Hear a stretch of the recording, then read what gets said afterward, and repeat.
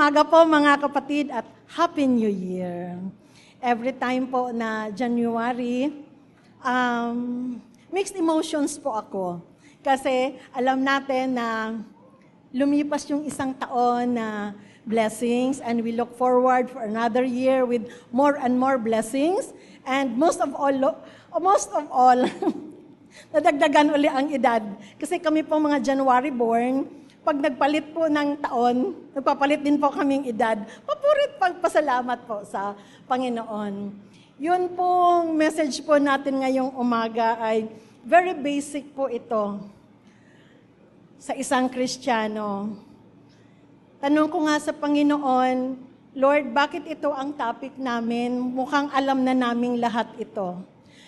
Pero, ang, pero as I ponder on the Word of God, sometimes po, kailangan pong uh, i-remind tayo ng Panginoon sa mga bagay-bagay na very simple. Kasi minsan, yung mga basic and simple things po, yun po yung nakakalimutan natin sa buhay. Okay po? So, seek God first. Um, kung meron po kayo mga Bible, makibukas po kayo sa akin sa Matthew. Ay, ba't hindi siya gumagana? Ay, wait lang. Yan. Matthew 6.33. Um, kung wala naman po, makibasa na lang po tayo doon. Um, tumayo po tayo para sa paggalang sa salita ng Panginoon. At kung memorize po ninyo ito, no need to read. Just memorize, okay? Matthew 6.33, sabay-sabay po natin. Sabihin, Seek ye first the kingdom of God and its righteousness, and all these things will be added unto you. Sa Tagalog po, ay, wait. Datapwat, hanapin muna ninyo ang kanyang kaharian at anyang katwiran at ang lahat ng mga bagay na ito ay pawang idaragdag sa iyo. Pray muna po tayo. Panginoong Diyos na aming Ama, salamat po Panginoon sa iyong mga salita. Salamat o Lord na every time na nag-aaral po kami ng iyong mga salita, salamat o Lord na ikaw po ang nangusap sa amin sa araw po na ito, Lord, at sa oras na ito, hinihiling po namin na ikaw ang manguna sa pag-aaral namin ngayong umaga. Let the Holy Spirit, Lord, be with us.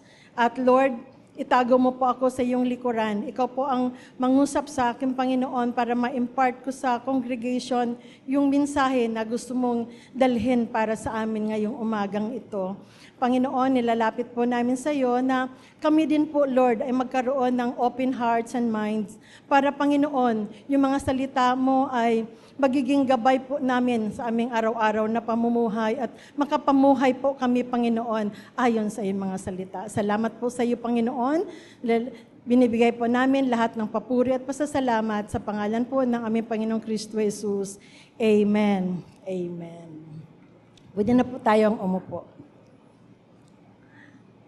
Survey po. Sino po sa inyo nakaka-memorize ng Matthew 6.33? Itaas po ang kamay. Huwag mahiya. Huwag mahiya, okay? So, majority po nakaka-memorize ng Matthew 6.33, either Tagalog man po or English. Ito pong Matthew 6.33, ang Panginoong Jesus po mismo ang nagsasalita nito sa atin. At ito po ay isa sa mga pra, sa mga instructions na sa atin with built-in promise. So ang una, seek ye first the kingdom of God and His righteousness. At ang kasunod po, and all these things shall be added unto you. So it's a promise. Um, sabihin nyo sa akin, ay nako, Sister Letty, alam na namin yan. Mula nung ako'y Christian, alam ko na yung Matthew 6.33. At natandaan nyo noon, kinakanta pa yan. Tanda mo yan, Ate V. Oh, pinakakanta pa yata yun ni Sister Dali namin sa, sa amin noon eh, yung, yung Matthew 6.33. So, this is a very familiar verse for all of us. Pero ang next na tanong ko, mga kapatid, para sa ating lahat, kumusta po ang application natin nito sa ating mga buhay? Uh, new or old Christians, minsan hindi ko lang po alam kung minsan or most of the times, challenge po sa atin itong pag-apply ng seeking the kingdom of God and His righteousness sa mga buhay natin. Lagi po nating naririnig yan. Pag Sunday, naku po, Panginoon, patawarin mo po ako. Hindi po ako makapagsimba ngayon kasi po, ang dami-dami ko pong labahan. Panginoon, sorry po talaga kasi wala pong magbabantay sa aking bahay. Baka po, Panginoon, yung aking aso, baka po ay makawala. Baka po ang aking pusa ay makawala. Panginoon, sorry po kasi ngayon pong linggo na ito, Meron po kaming meeting sa aming association. Pag nawala po ako doon sa meeting, hindi po matutuloy ang meeting. Talaga no, grabe. Pero uh, mga kapatid, sabihin naman natin na, Sister Letty, naintindihan naman ng Panginoon yan eh. Well, maybe, justified, maybe naintindihan ng Panginoon, pero po, baka ma-miss po ninyo yung mga blessings na built-in po dito sa Matthew 6.33. At the end of the day po, pagkaharap po natin ng Panginoon, sasabihin ba niya, Wow, Letty, ang galing mo, ang linis ng bahay mo. Wow, Letty, ang galing mo. Ang mga damit mo ay masyadong malinis at masyadong planchado. Very good, Letty. Sasabihin ba ng Panginoon yan? Hindi po, mga kapatid. Kasi ang gusto ng Panginoon, makasama natin lagi siya every minute of our lives. Okay po? So, um, hindi ko po sinasabi na exempted ako dito. Ako po ay uh, guilty dito sa uh, application na ito. Kaya nga siguro may-remind tayo ng Panginoon para at the start of the year po, meron po tayong um, gagawin na mas mahalaga po para sa buhay natin. Um, babalikan lang po natin mga keywords po doon sa Matthew 6.33.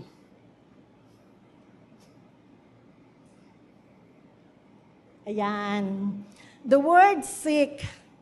Ang ibig pong sabihin nito, to go in search, purposeful action, and requires personal effort to find. Pag seek, dapat po meron kang find. Pag naghahanap ka, meron kang makita mo dapat yung iyong hinahanap. Alam mo ninyo, uh, a short anecdote lang, noong mga elementary pa kami, of course sa probinsya po ako lumaki ha, hindi ko alam dito sa Maynila. Pag natapos po yung klase namin ng alas 4, meron kami, sige, hide and seek. English kami, mga kapatid, akala nyo sa Bisaya. Hindi namin alam yung tagwa. Hide and seek tayo. Okay, hide and seek. Alam mo ninyo, may mga instances na um, di, yung taya, o sige, uh, bilang na, lahat ay nakatago na. So, nakatago na sila lahat, ano? Tapos, ang nangyayari, etong si Taya, madaya, umuwi na pala. So, ang nangyari, tago kami ng tago. Bakit 20 minutes na wala pa rin naghahanap? Sabi ni isa, Ne, wala na yung taya, umuwi na pala. So, hindi po yon ang seek, ang sinasabi nating seek and find. Another one po, di, eto naman ngayon. Sabi ng mga classmates natin, ito madaya to eh. So, tago na naman kami, hide and seek na naman. Uh, so, sabi na naman nung taya, okay, nakatago na lahat, di nakatago na. Ang ginagawa po, di nakaganyan yung taya, di ba? Naka-close eyes. Di hanap siya ng hanap, wala po siyang mahanap kasi po, nakauwi na po kami sa aming mga bahay. So, ano, ang tawag dyan? Uh, ano lang, uh, revenge, revenge. Yung ganon. Pero hindi po yon ang hanap na sinasabi natin. Ang hinahanap po natin dito ay ang sinasabi ng Panginoon na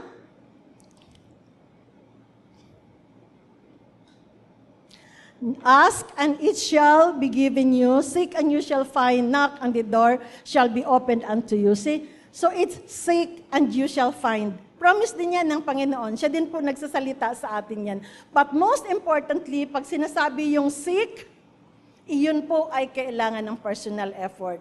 Iba po yung ask, hingi lang po yan eh. Pero pag sinabi mong seek, meron po talagang effort yan na nakaakibat doon and with the intent of finding something. Ang kasunod po niya na gusto nating tingnan ay, ayan, seek God's kingdom first. Ang sinasabi po dito, make the God's kingdom your primary concern. Akala ko nito noon, nung sinabi, seek first the kingdom of God. Akala ko po yan, ah, number one, God. Number two, ano ang number two nyo kaya? Family. Number three, career. Number four, uh, kung ano pa man. Pero ang sinasabi po dito, the word first, ito po, the word first not only refers to time, and prioritizing, but also of importance. Ang sinasabi po, seek first the kingdom of God sa iyong buhay. Halimbawa po, may major decision sa buhay mo. Sino po unang kinokonsulta mo? Kinokonsulta mo ba ang Panginoon or si Beshi? Beshi, laki ng problem ko, Beshi. E si Beshi po ay hindi Christian, di ba? So, kung ano-anong kung ano-ano ang ang sinasuggest ni Beshi. Sa time po, sa sa iyo pong mga sa pag-aaral po natin, sino po ang inuuna natin doon? Sino po sa business natin po? So, ang sinasabi dito po, every aspect of our life dapat makita po na ang objective lang natin ay yung hanapin ang katuwiran at ang uh, kaharian ng ating Panginoon. Minsan din po, pag nagkasakit tayo, di ba? Hoy, nag, may sakit. Una-una, gamot. Pero bakit no? Bakit hindi muna tayo mag-pray for God's healing bago tayo bumili ng gamot? Well, nasa atin na po yan. Ang sabi nga po sa uh, Isaiah 55:6. Seek the Lord while he may be found, call on him while he is near. Sa Kristiyano po, ito po ay promise din sa Bible na kung hanapin lang natin ang ating Panginoon, kung tawagin lang natin siya, lagi po siyang nandyan, malapit sa atin. So promise po yan ng Panginoon sa atin.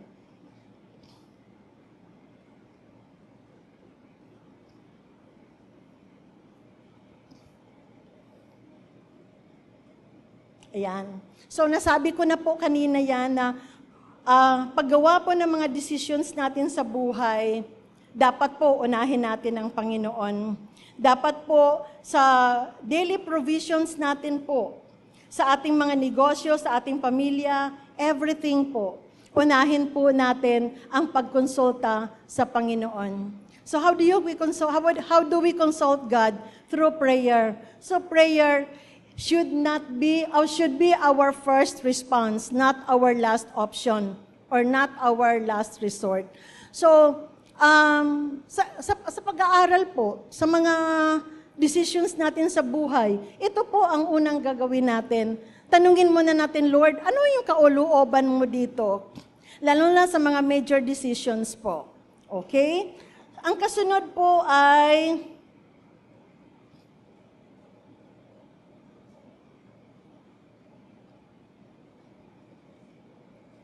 masyado ako nagmamadali.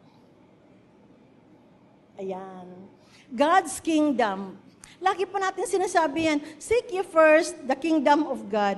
Pero ano po ang ibig sabihin ng king, kingdom of God? Kaharian ng Diyos. Ito po ay nagre-refer doon sa kanyang sovereign governance para sa ating lahat. Yung kapangyarihan po ng Panginoon, yung dakilang kapangyarihan po sa ating buhay, yung dominion po niya, yung pag-rule niya sa ating sa ating lahat. At paano po natin malalaman kung ano po yung kalooban ng Panginoon? It is through God's word. So ang sinasabi dito, pursue and submit to the reign and the rule of God in our lives. So um, itul- patuloy po tayong magpasakop sa dakilang kalooban ng Panginoon sa ating buhay sa pamamagitan po ng kanyang mga salita. At kung lahat naman po tayo dito ay tinanggap si Jesus as Lord and Savior, then we are part of the kingdom of God. Because sa God's kingdom, Jesus is the King.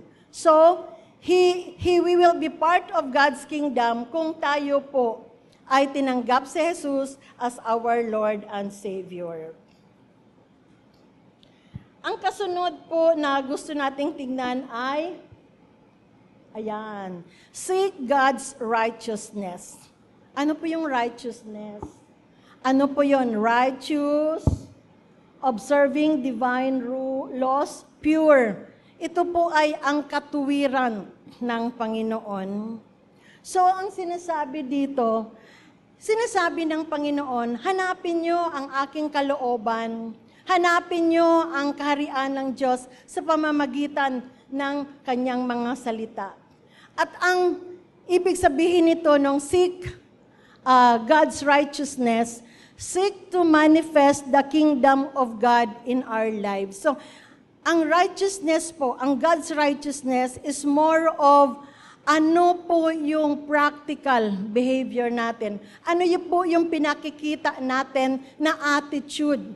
Nakikita ba na tayo ay sumusunod sa kalooban ng Panginoon? Kung hindi po tayo nagpipray, Sumusunod ba tayo sa kalooban ng Panginoon kung hindi po tayo nagpapatawad? So, hindi po yon di po ba? So, ang God's righteousness po ay ang practical way na makikita sa ating mga buhay ang salita ng Panginoon, ang kaharian ng Panginoon sa ating buhay.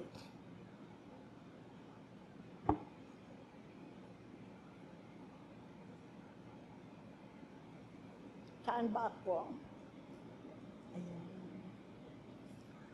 Nung makilala po natin ang ating Panginoong Hesus, lahat po tayo makasalanan, di po ba? Lahat po tayo ay hindi nakakarating sa kaluwalhatian ng Diyos. Nung tinanggap po natin si Jesus as our Lord and Savior, and we are part of the kingdom of God, tayo po ay nagiging righteous. So ang sinasabi po, hindi po, we don't get God by being righteous, but we become righteous by knowing God. So kung sa, ang sinasabi po niyan, kung sa sarili lang po natin na gusto talaga akong mamuhay ng may kabanalan, gusto kong mamuhay ng may katwiran ng Diyos, kung sa sarili po natin, hindi po natin yun kakayanin. Pero kung kasama po natin ang ating Panginoon, ay magagawa, magagawa po natin because God makes us righteous. So, sa puso po natin yan. Tingnan po sa puso natin kung makita ba dito ang ang picture ng Panginoon. Sabi, dito wala naman. Ibig sabihin po nito, yung attributes ng ating Panginoong Hesus, nakikita ba yan sa buhay natin? Ito po, Lagi ko po itong naririnig kay Pastor Papa noon at kayo din po. Every time po sinasabi niya, live a life of righteousness and holiness. Noon po, hindi ko po yan gets. Pero habang, habang ano po, nag-aaral po tayo ng salita ng Panginoon, ito po ang, ang ultimate na uh, may pakita po natin ang kaharian ng Panginoon sa mga buhay natin. Living a righteous and holy life. Hindi po ito lahat tinuturo sa lahat sa mga churches. Pero dito po sa Jewels, ito po yung unang turo ni Pastor Papa sa atin to have a life full of righteousness and holiness. Okay po? So, ito po yon. So, ang, ang instruction, seek first the kingdom of God and His righteousness.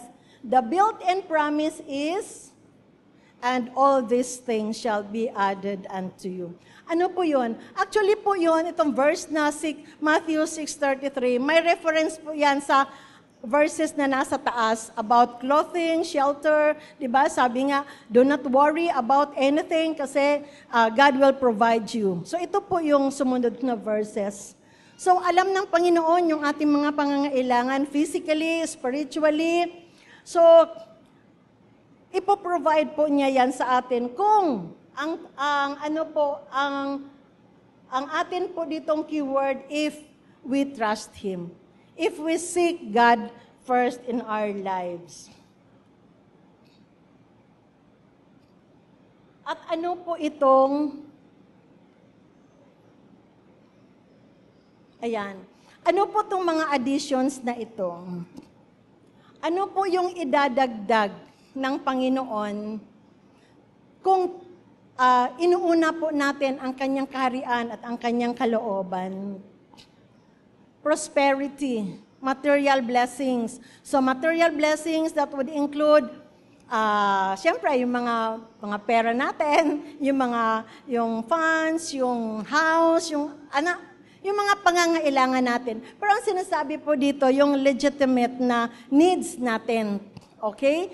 Um, so, material blessings, kasama po doon yung joy, yung peace, yung pagpapagaling, good health natin, salvation, transformation. Transformation po meaning pagbabago po ng buhay natin pagbabago po doon sa old self natin. So at ito pa po, fruitfulness sa buhay natin. Yung meron tayong bunga sa ating pananampalataya. So, lahat po ito ay idadagdag ng Panginoon. The only condition is, seek first the kingdom of God and His righteousness.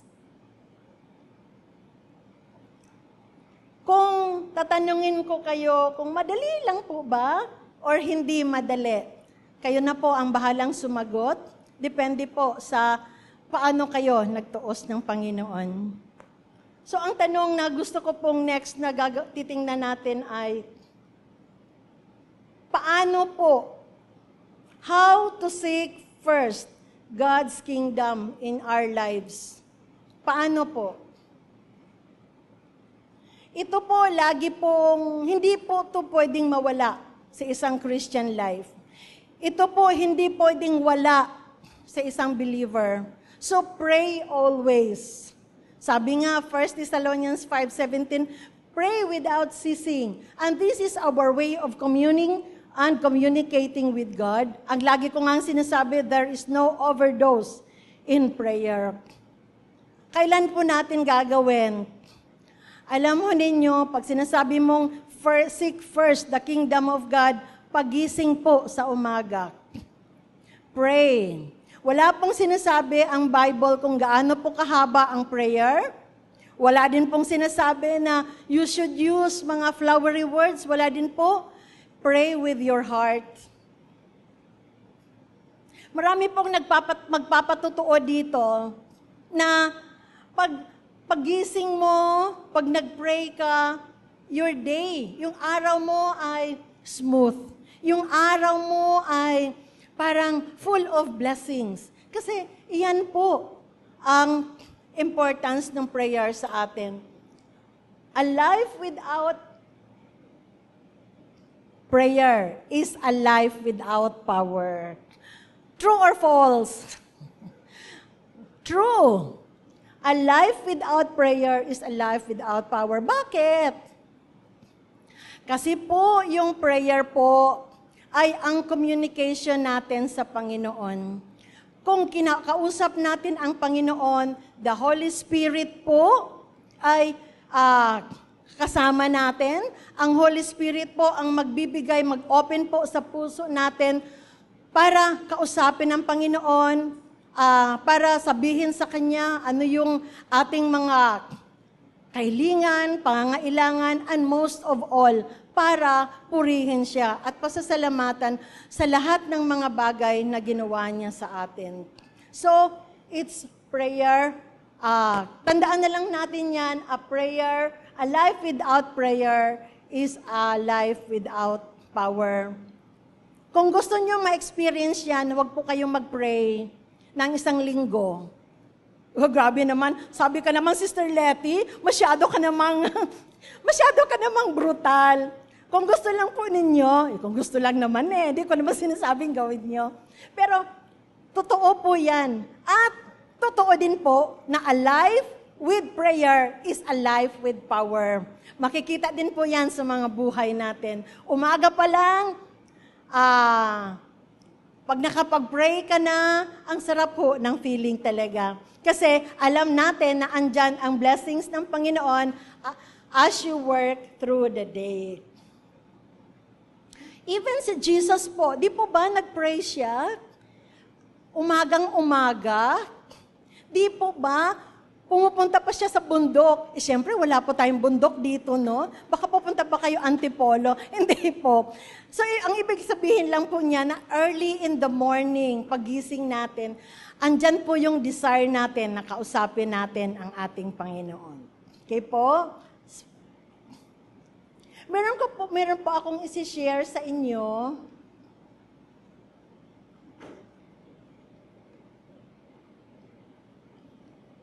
Ayan. Ito po ay very, very familiar. Ito po ay um, pinapractice din po. Yung Acts model of prayer, yung pag nag-pray po kasi tayo, parang hindi naman pwede na, Lord, kailangan ko to, kailangan ko to, pingi dito, Lord, pingi doon. Hindi naman po pwedeng ganon. So, yung Acts model would show us ano yung, ano yung prayer na karapat dapat. A has something to do with adoration, glorifying and exalting God. Kung napapansin po ninyo dito sa mga prayers na ginagawa natin sa church, andyan po lagi yan, yung we praise you Lord, we glorify your name. Alam mo ninyo, lagi ko pong naririnig kay Pastor Papa noon, remember, the Most High God, the God Almighty. No, kasunod, Creator of the heavens and the earth, and nothing is impossible with you, Lord. So, iyan po ang nagpapakita, ano po yung attributes ng ating Panginoon. Hindi naman po, la, hindi naman po kailangan na yun lagi ang sasabihin mo sa Panginoon, pero yung nagpapakita na ini-exalt mo ang Panginoon, tinataas mo ang kanyang pangalan. Pangalawa po ay confession. Bakit? Kasi po, di ba, hindi naman po tayo saints na everyday hindi po tayo nagkakasala. So, pwede pong nagkakasala tayo in thought, in word, in deed. Pwede nga natin hindi alam talaga na nagkasala tayo. So, humihingi tayo ng confession sa Panginoon. Humihingi tayo ng tawad para makarating po yung prayer natin sa Kanya. Kasi kung meron po tayong kasalanan, baka po yung mga prayers natin ay hindi po makarating because sa kasalanan na ginawa natin. So promise din po niya yan sa 1 John 1.9. If we confess our sins, He is faithful and just to forgive our sins and to cleanse us from all our unrighteousness. So promise din po yan ng Panginoon. Pangatlo po ay thanksgiving. We thank God for all the blessings na pinagkaloob niya sa atin. So, um, ano pa yung mga blessings na to? Depende po kung ano yung blessings na natanggap niyo sa Panginoon. Good health, um, protection and all. Ito po ay promise din niya siyan sa Philippians 4.6. With thanksgiving, let your request be made known unto God. Okay? And S po ay supplication. Pray for your needs and others. So, sabi mo, ay, Sister Letty, huli pala yung hihingi ka sa Panginoon. Yes po. At, ang, ang usually, ang practice po dyan, pinipray mo yung pangangailangan ng iba bago yung pangangailangan ko. Every time po na uh, kasama sa magpe-pray ako, may mga kapatiran po na bigla na lang pumapasok sa isip ko at pinagpipray ko po. Hindi ko po alam kung anong circumstances sa mga buhay nila, pero ito po ay ini-impress ng Panginoon sa atin na ipag-pray mo. So, kayo din po, baka may mga ganong experiences kayo na habang nagpe-pray, biglang naalaala ko si sister, ganyan. So, just pray. Pagpe-pray po natin kasi alam na, alam ng Panginoon na may pangangailangan po yung kapatid na yun. Okay? Pero yung Acts model of prayer, tandaan po nito natin, ang prayer po ay wala po yan sa model. Ito lang po ay guide sa atin paano tayong mananalangin. Pero hindi po hindi po yan rigid na yan lang talaga. Um, ang prayer po kasi ay nasa puso. At yung honest na communication natin with the Lord. At kung sabi natin, seek first the kingdom of God and His righteousness, paggising natin, yan po ang kasama sa gagawin natin. Pray.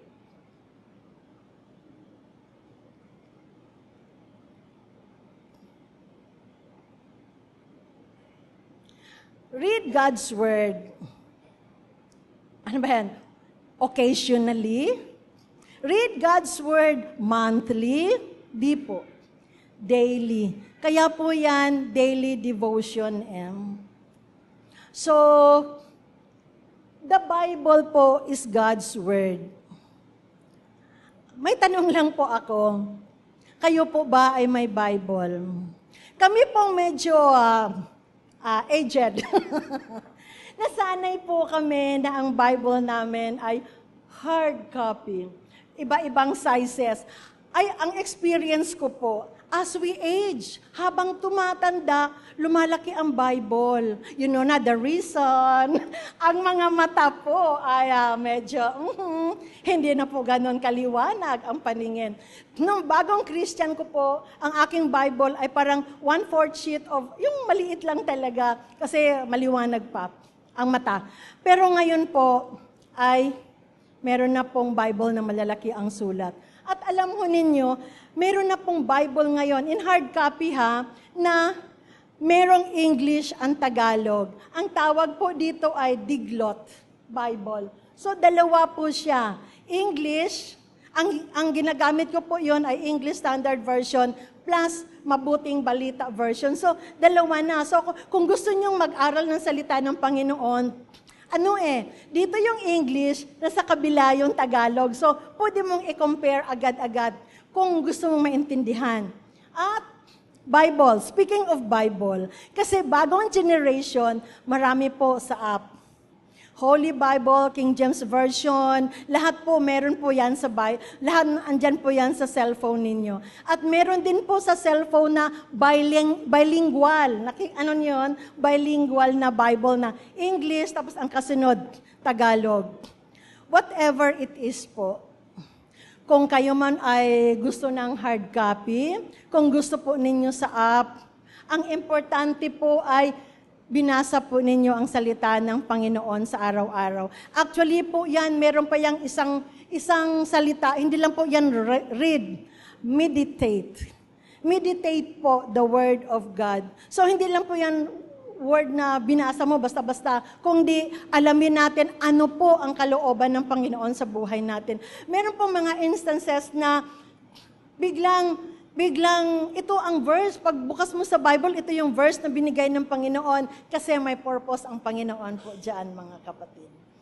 At ito po ay minimemorize po yan ng bagong Christian.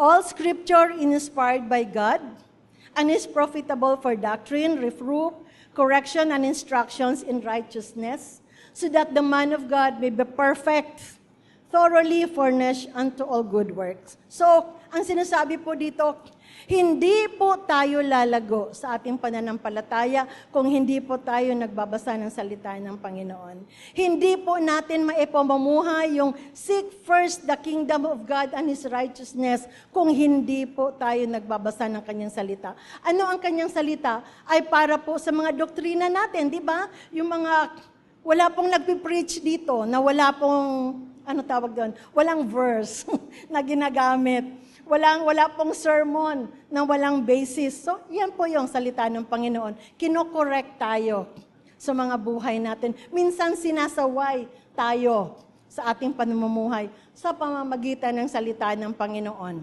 Okay po? At ang sinasabi po sa Psalms 199, My soul is very weary with sorrow. Strengthen me according to your word. Keep me from deceitful ways. Be gracious to me through your law. So, yung salita po ng Panginoon ang tumutulong sa atin para tayo po ay makapamuhay in righteousness and holiness. Okay po?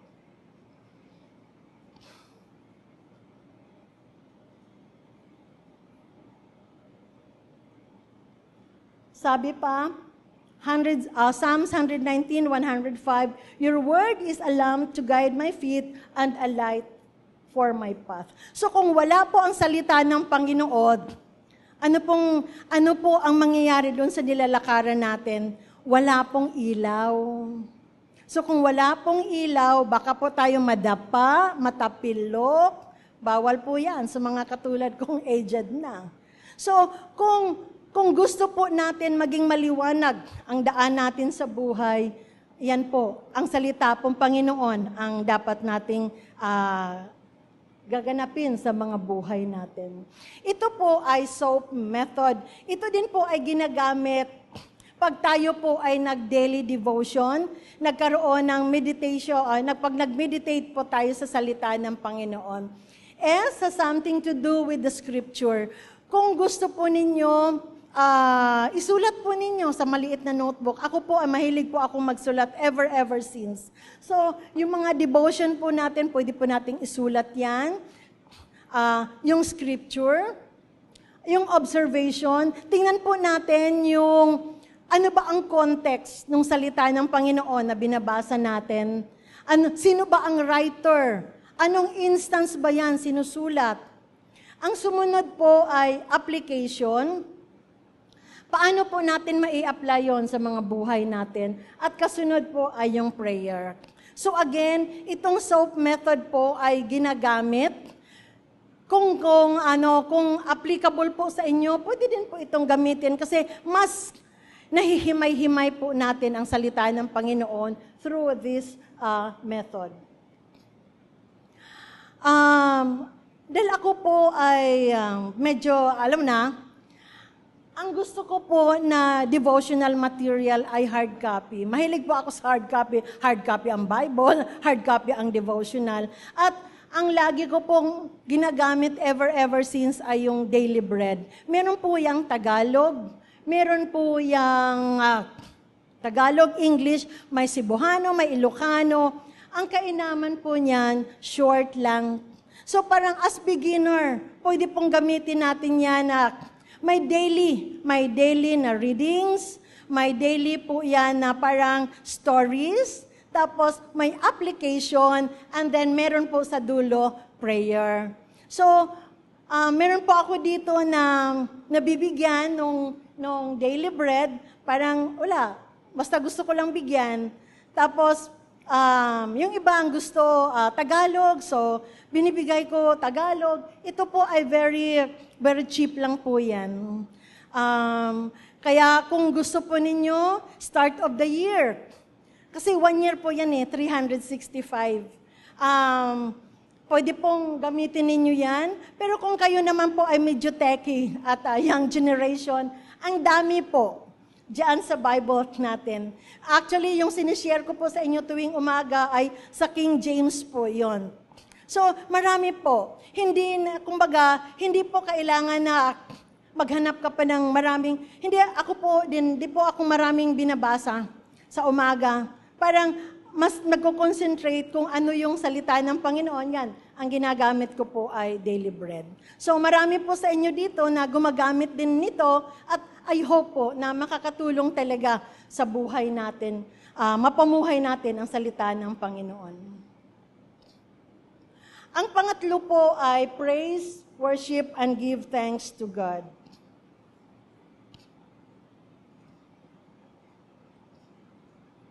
Kung kayo po ay uh, pinupuri, nasisiyahan ba kayo? Oy, ang galing mo naman. Siyempre, nasisiyahan ka, di po ba? How much more kaya ang ating Panginoon? Pag binalik natin sa Kanya yung praises, hindi din kaya nasisiyahan ng Panginoon? Di po ba? So, sa ating buhay po, lagi pong sinasabi yan na kailangan nating purihin, i-worship ang Panginoon, at bigyan siya ng pasasalamat. Sa church lang ba? Hindi po. Every day of our lives po. Meron nga pong sinasabi, lifestyle of worship. Kahit hindi po dito sa church, doon po sa mga sa atin. Minsan nga, habang naglalaba ka, di ba? Parang Wala, gusto mo lang kumanta sa Panginoon. Habang naglilinis, gusto mo lang kumanta sa Panginoon. That's a way of worshiping God. Bigla na lang na purihin ka Panginoon kasi may naalaala ka na, na uh, blessing ng Panginoon. Lord, I praise your name and thank you so much, Panginoon. Ganun po. Every minute of our life po, um, yan po ang sinasabi ng, na, nito na we just praise, worship, and thank God for our life. Sabi nga po sa one, Psalms 104, Enter His gates with thanksgiving and His courts with praise. We give thanks to God, to Him, and praise His name.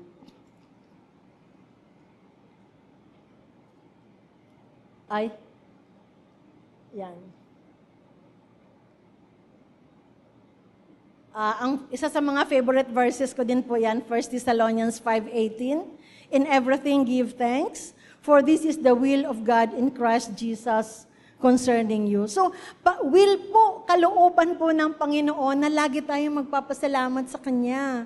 Kalooban po ng Panginoon na lagi nating purihin ang Kanyang pangalan. Wala lamang pong mawawala, di ba, sa atin. When in fact, mas, mas, mas matuwa po ang Panginoon kung Lagi po nating pinupuri ang kanyang pangalan. Ito po, ano kasi kami eh, batang Pastor Papa. lagi po, di ba si Pastor, laging naririnig ko sa kanya, Praise the Lord. Hallelujah. Uh, thank God. So, bakit hindi po natin yan gawin? Simpleng bagay lang po. Ganun lang po kasimple. So, yan po. Yan po. Ang next po ay Hala, sabi mo, Sister Letty, dami-dami palang gagawin.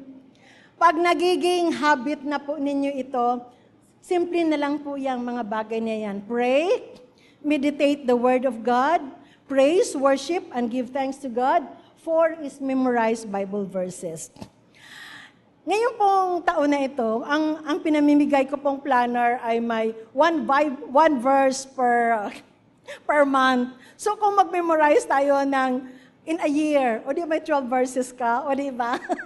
so, ibig ko lang sabihin po na pag-memorize po kasi ng verses, ay kailangan po natin. Alam mo ninyo, naku, sandali na lang po. Ito pong, yun pong pag-memorize ng verses, wala po yan sa edad. Alam mo ninyo yan, si Pastora Maming, at saka si nanay ko, hindi nyo na inabot ang nanay ko, pina-memorize po, may pinamemorize po ni Pastor Papa ang 1 Corinthians 13. Tama, Pastora? That is the love chapter. 13 verses po yan at ilang pages. Memorize nila po. So, wala po sa edad yun. Ang importante po, ano ang relevance ng mga verses na yan sa buhay natin. Ang basic na verses po yan ay yung masave tayo, pag tinanong tayo, bakit bakit ano? Bakit hindi good works? Ang kailangan para maligtas, di ba kailangan good works? Meron ka dapat sagot dyan. Yung kinanta ni Nalaika kanina, Ephesians 2, 8 and 9. Di ba? So, ano din, yung pag, nung, nung time po na ako ay nag-chemotherapy, yung chemotherapy po, hindi po kayo makakatulog ng isang gabi, isang araw. Kasi po, drugs yun eh. Alam mo ninyo, Minememorize ko yung Psalms 23, buong Psalms 23, 1 to 6 yan in. Alam mo ninyo, nakaka-relieve. The Lord is my shepherd, I shall not want. Lahat-lahat-lahat na yan. Nakaka-relieve po sa ating soul. So, ganun po ang, ang memorizing verses. May kanya-kanyang strategy po yan. Ang ginagawa ko po, uh, sinusulat ko yung verses at kinakabit ko po yan sa aking kwarto. Para paggising ko sa umaga, makikita ko kaagad. O di ho ba?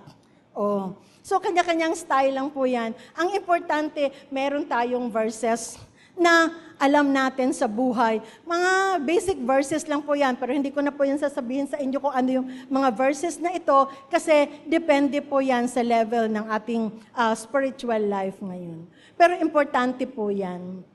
Ang sinasabi nga, uh, sabihan ni David, I have hidden your word in my heart that I, I might not sin against you. So, ang salita po ng Panginoon, kung na-memorize po natin, iyan po yung laging nagpapaalaala sa atin na huwag tayong magkakasala. At ito po yung last, number five.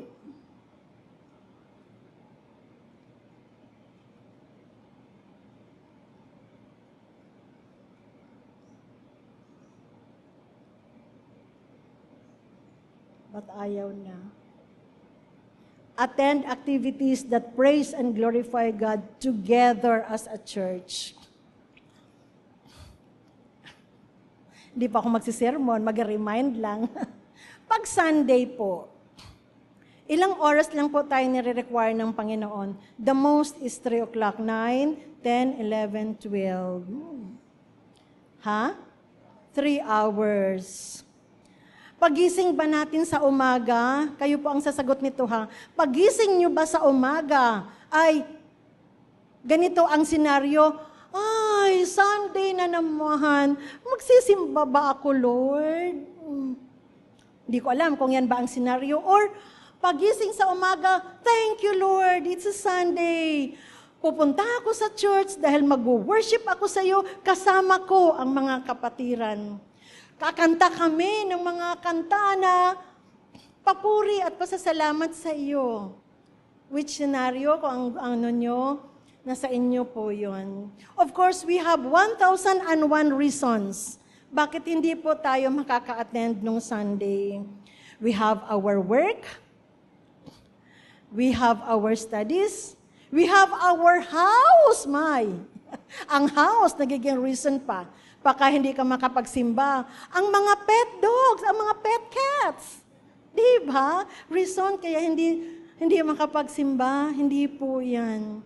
Ang gusto po ng Panginoon ay huwag nating kaligtaan ang pagtitipon every Sunday.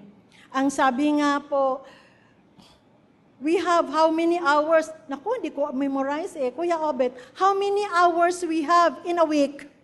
At three hours lang po yung nire-require ng Panginoon sa atin. Niremind po tayo ng kanyang salita. Sinasabi po,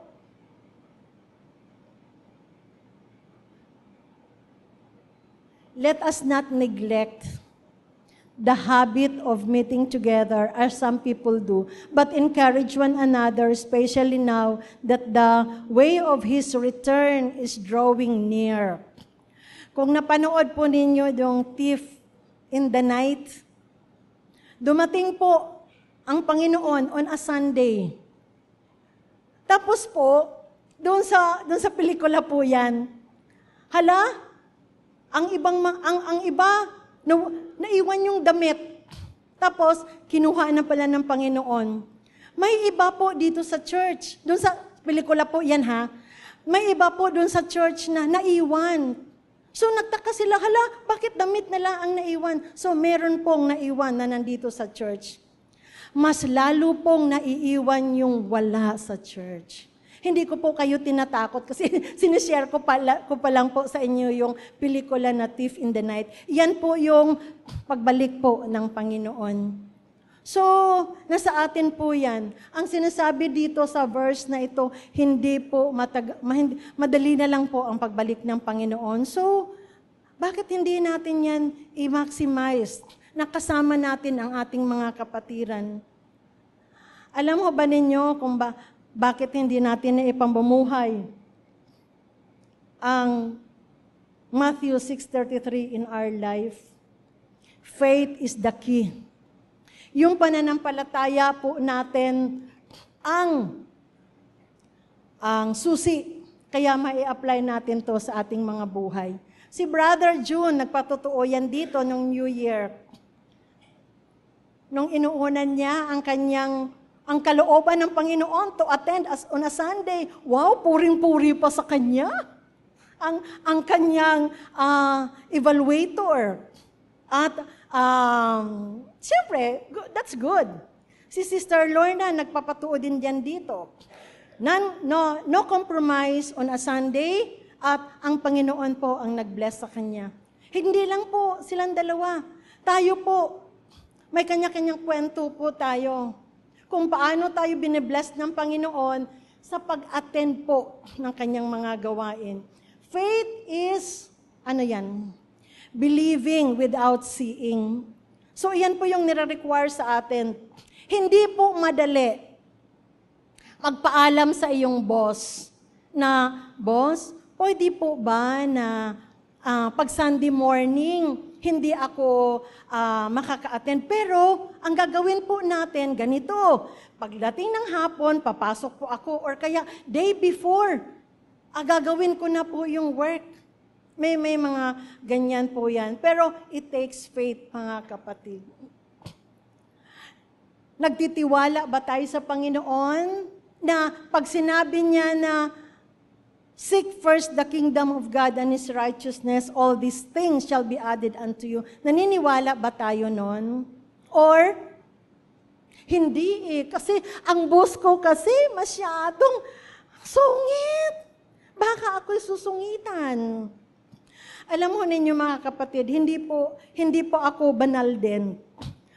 Ito, um, naging practice po yan sa buhay ko Nung, nung pumasok po ako sa DAR, bata pa po ako noon, and uh, that was 32 years ago, masyado po akong na-engross sa aking work. Masyado po akong career-oriented. Nahiya nga ako noon eh, kasi there was a training na tinanong kami, ano priority mo sa buhay? Ang number one ko po ay career. Pangalawa lang ang Panginoon at saka sumunod family. Ngayon ko po na-realize na kakahiya yun, mga kapatid. Just a matter of prioritizing, hindi ko nauna ang Panginoon. Um, may mga Sundays po na hindi po ako nakakapagsimba noon kasi every time po, yung mga activity po namin ay kailangang umalis ng Sunday morning kasi ang activity po mag-start ng Monday. Every time po, di, syempre, um, kasakasama kami na, mag, na magbiyahe. Sa tagal ko po sa DAR, halos na ikot ko po na po yung mga cities and provinces dito sa, sa, sa Maynila, uh, sa, sa Pilipinas. Kaya ganun po. Every time po, hindi po ako nakaka-attend ng prayer meeting. Kasi nasa office pa po ako, 7 o'clock ng gabi, dahil ang dami ko pang, ko pang tinatapos. Uh, minsan yung leaders meeting, absent ako kasi nakatravel na ako. Ganun po ang buhay ko. Then, then alam mo ninyo, hindi ko sinasabi na pinapalo ako ng Panginoon, pero uh, papalo na nga yun. Dumating po yung panahon na sabi niya sa akin, Leti, tama na yan.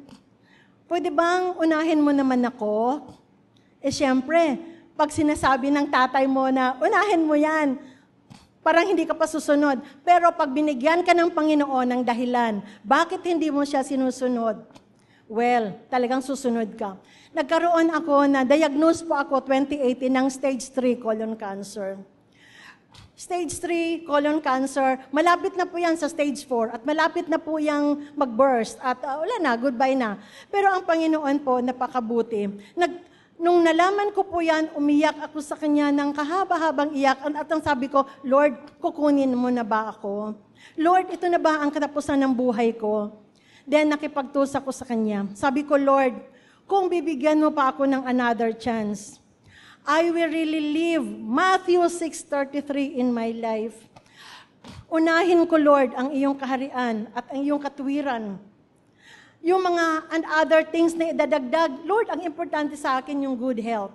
Alam mo ninyo, nung, nung, nung nagtuos kami ng Panginoon, sa position ko po kasi sa DAR, ang akin pong uh, boss ay undersecretary at secretary. So pinakamataas na po yan.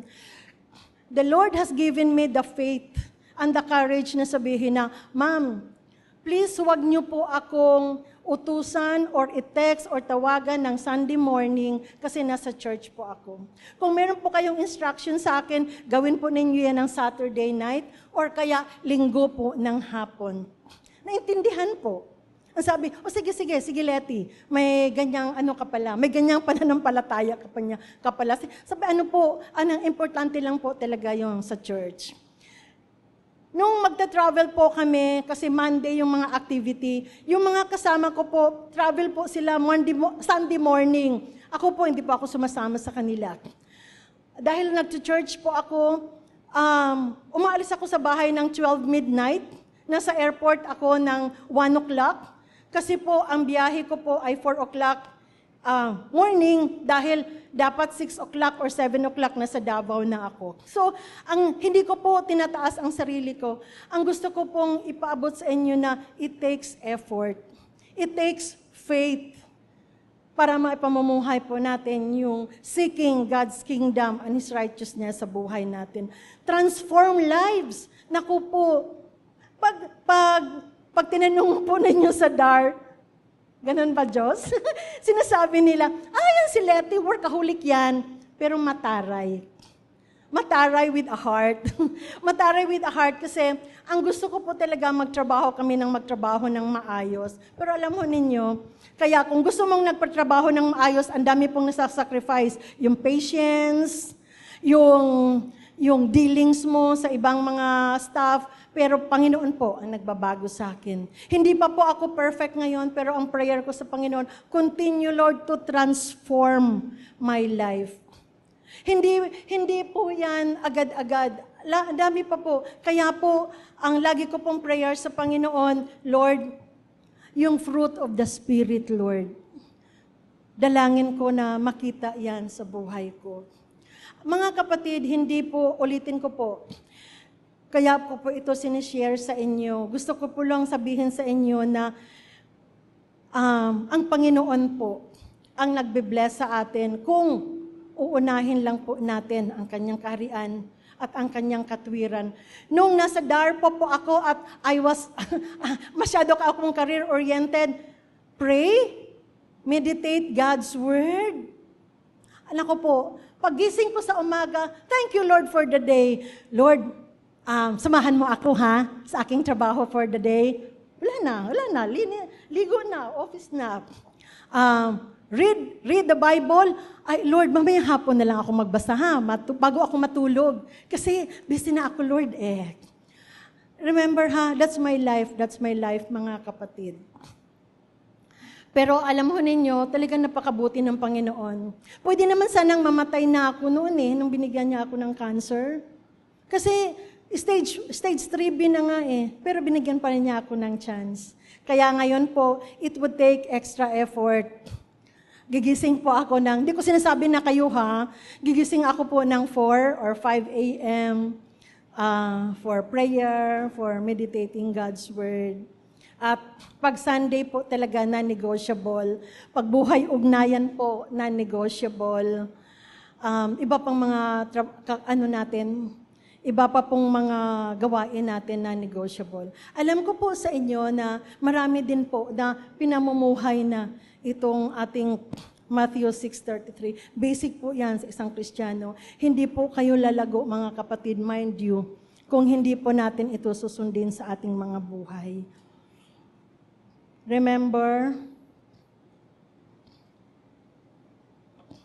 one week without God and prayer makes one week sa isang, subukan, di ba sabi ko sa inyo, subukan nyo kaya po. wala kayong prayer, wala kayong salita ng Panginoon, sa loob ng isang linggo, manghihina po tayo. So why not do the other way around? Why not pray always, meditate God's word, give praises and worship God every minute of our life? Why not memorize verses? Why not attend. Every Sunday po. Sunday, tatlong oras lang po talaga. Meron po sa iba sa inyo dito, mga tinetext ko, yung, uh, yun lang, miss, miss namin kayo, gusto namin kayo makasama sa church. Yung mga ganon, pwede din po ninyong gawin yan sa mga kapatiran natin. Huwag naman po yung, Hoy, bakit absent ka? Huwag naman ganon. Pwede naman, uy, na-miss namin kayo sa church. Mas masaya kami pagkasama kayo. So may mga ganun po. So yan, one week without God and prayer makes one week. Yan po ay hindi ko po alam kung sino nagsabi niyan kasi nakita ko lang po yan. Actually, familiar yung quotation na yan eh. Kung saan-saan natin yan nakikita. Pero totoo po yan sa mga buhay natin kung hindi po natin kasama ang Panginoon. So, meron po akong challenge sa inyo mga kapatid. Di ba, pag start ng taon, meron tayong New Year's resolution. Meron pa tayong notebook. Sulat, sulat kung ano yung dapat baguhin. Bakit po hindi, na, hindi tayo mag-promise sa Panginoon sa oras na ito? That seeking His kingdom and living in a righteous life would be our primary goal in 2023. Start pa lang po ng year. Kung gusto niyo ng devotional na daily bread, sabihin niyo sa akin, mag-order po tayo sa Lazada. That's so cheap. Or meron po yan dun sa, sa may San Juan. Or kung meron pong other devotional na gusto niyong gamitin, please uh, do it. Pag-pray. Sa ano po yan, mga kapatid na sa atin po yan. And most of all, attending every Sunday po. Dahil iyan po ay isa talaga sa mga requirement ng Panginoon. Malapit na siyang dumating. So iyan po ay challenge ko sa inyo. Um, hindi ko po alam kung paano kayo mag-respond doon sa challenge ng Panginoon. Okay po? So, as, um, as a summary, niremind po tayo ng Panginoon ngayon na Matthew 63, 6.33 is not just a verse. It is not just a verse to be memorized. It is not a verse na dapat kantahin, but a verse that should be applied in our lives. Kanya-kanyang pamamaraan po tayo, pero yan po yung kalooban ng Panginoon sa atin. Okay po? So, sa ating pagtapos, um, manalangin tayo sa Panginoon, hilingin natin ang kanyang strength para pa tayo ay uh, patnubayan na sana magawa natin yung challenge natin for 2023. Okay, so manalangin po tayo mga kapatid. Panginoong Diyos na aming Ama, salamat po sa iyong mga salita ngayon, Panginoon. Salamat sa iyong mga salita na ni-remind mo kami, O Lord, at the start of the year na Unahin ka namin, Panginoon. Unahin namin ang iyong kalooban. Unahin namin, O Lord, ang iyong katwiran. May pamumuhay namin, O Lord, ang iyong mga salita. Na kami po, Lord, ay mamuhay in righteousness and holiness.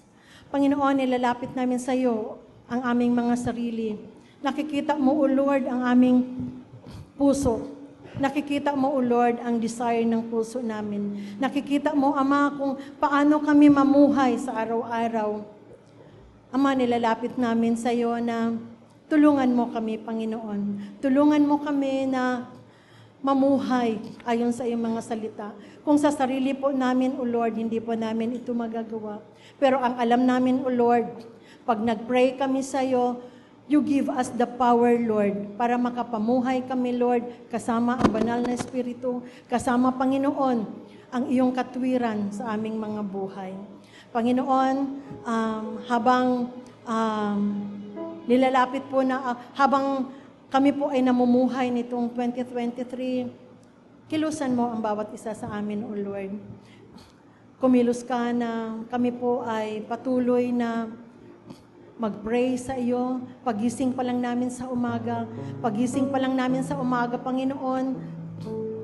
Nagbabasa na kami ng iyong salita, nagbubulay-bulay kami. Sa bawat Lord, uh, oras ng aming buhay, pinupuri ka namin, pinasasalamatan ka namin, at binibigyan ka namin, O Lord, ng lahat ng worship.